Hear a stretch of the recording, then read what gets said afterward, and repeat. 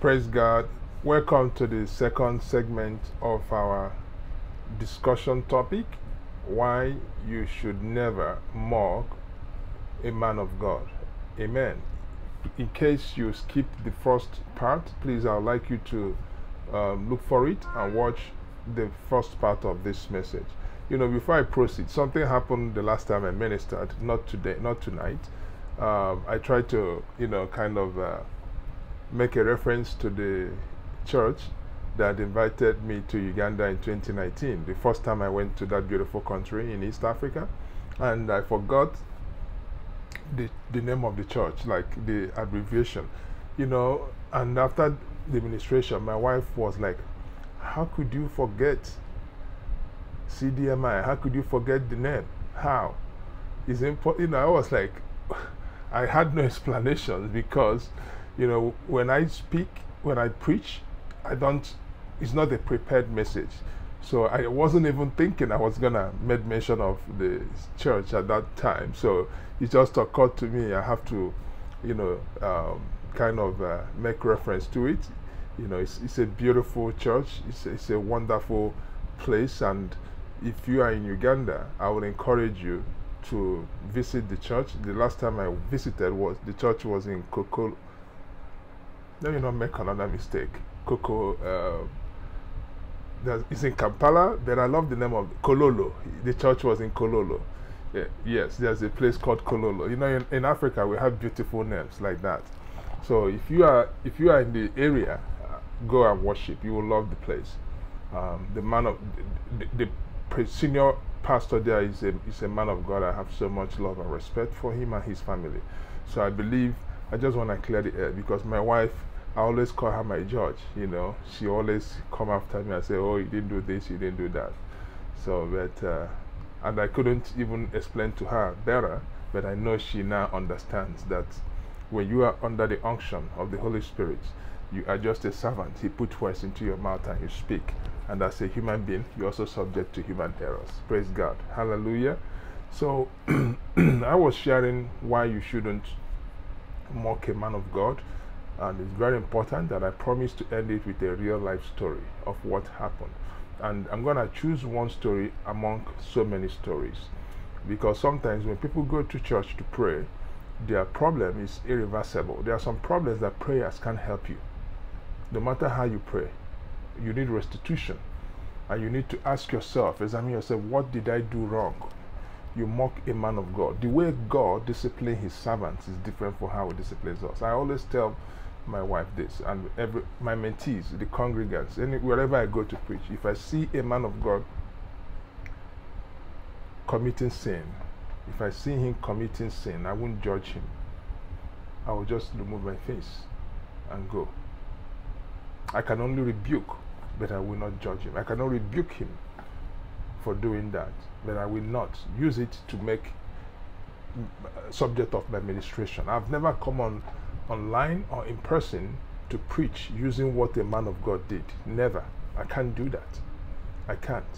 So when I preach, whatever I preach, I don't have anybody in mind when I'm making my reference that is a man of God. I can't. I preach the message of salvation and I preach to liberate someone from sin or from perishing.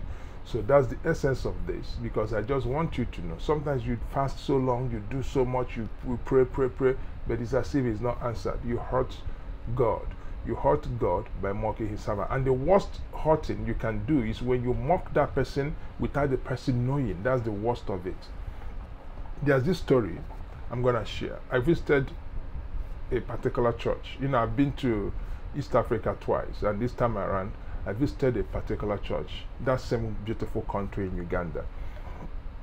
And when I went there, the church the day, I believe it was a day um, to my departure, I was invited to have a meeting with the youth of the church. There is a program they call the Destiny Altar. The Destiny Altar is where the youths, you know, it's meant for the youth. And you know, I love youth so much. Anything that has to do with the, the youth, I am interested. I love to do it. So they invited me to talk to the youth, and a lot of people came because they saw the power of God on a Sunday service I think that was on a Thursday. I can't remember exactly. As I got there, it's a midnight prayer meeting. As I got there, I, I knelt down to pray. As I knelt down to pray, the, the ministry angel, you know, ministered to me and said, the Lord ministered to me immediately and said, um, wait a minute, when you stand up, look back, there are two young, beautiful ladies. I would like you to invite them over before you leave.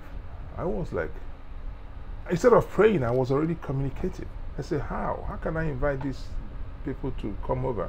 To cut the long story short, I stood up, and as soon as I turned, as the Lord commanded me, I saw these beautiful young ladies looking directly at me. And the moment they looked at me, they removed their face, and I, I caught their attention. I said, Okay, how? These are like, these are not kids, these are like adults.